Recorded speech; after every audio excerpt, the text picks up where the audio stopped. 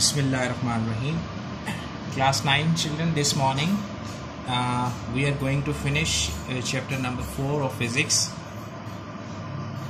Now, I have made two new videos for you relevant to this chapter.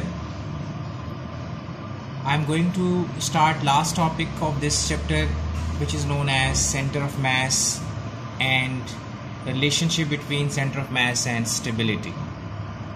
So let's start. Center of mass. What is center of mass?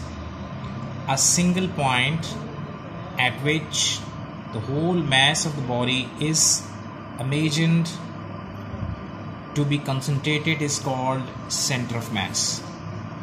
I mean, let's suppose, guys, if we have any object, let's suppose if we consider this object, right? So if I say now this object having some particular mass so scientists say that the whole mass we suppose and we just imagine that the whole mass is concentrated through a single point and that point is known as center of mass. You can say center of mass and center of gravity so almost they are same. Now why we are discussing about the importance of this point. Basically when you are going to place an object with proper stability so you should know the idea about the center of mass.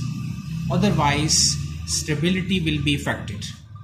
Let's say we are discussing and producing a relationship between center of mass. Now i have made these three figures for you so you have to consider these figures let's suppose if I consider a flat surface and a block is placed here center of mass of this block is almost here. Cm means center of mass. Now this is showing that height of center of mass. And this another example also showing the height of center. Of this is basically pencil lying vertically on this horizontal surface. And this is racing car. Center of mass of this racing car here and height is very very close to the earth. And here this is comparatively higher but the highest one is the center of mass of this pencil. So it means when center of mass is much higher than the ground and level surface it means you can say that ob the object is not much stable. So that's why this object is not too much stable comparatively this is more stable and this racing car is the most stable as compared to the rest two objects because center of gravity is very close जहाँ पर centre of ग्रेविट centre of mass अर्थ के जितना close होगा उतनी कोई चीज़ ज़्यादा stable होगी so stability we consider the center of mass of an object and if center of mass is coming close to the surface of earth so it means that object is considered as more stable. Is it? So it means out of all these things stability of this racing car is much greater than the rest two is it clear?